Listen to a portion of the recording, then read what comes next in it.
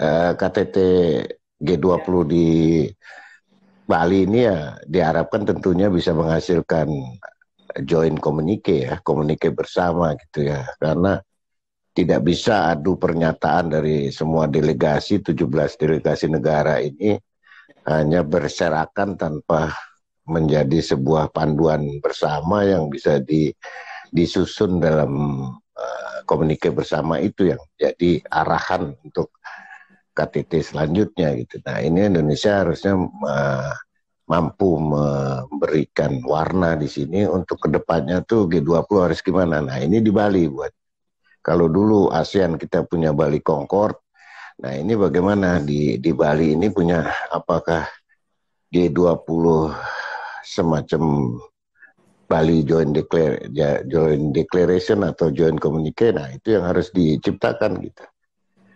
Itu menjadi warna kita yang berharga.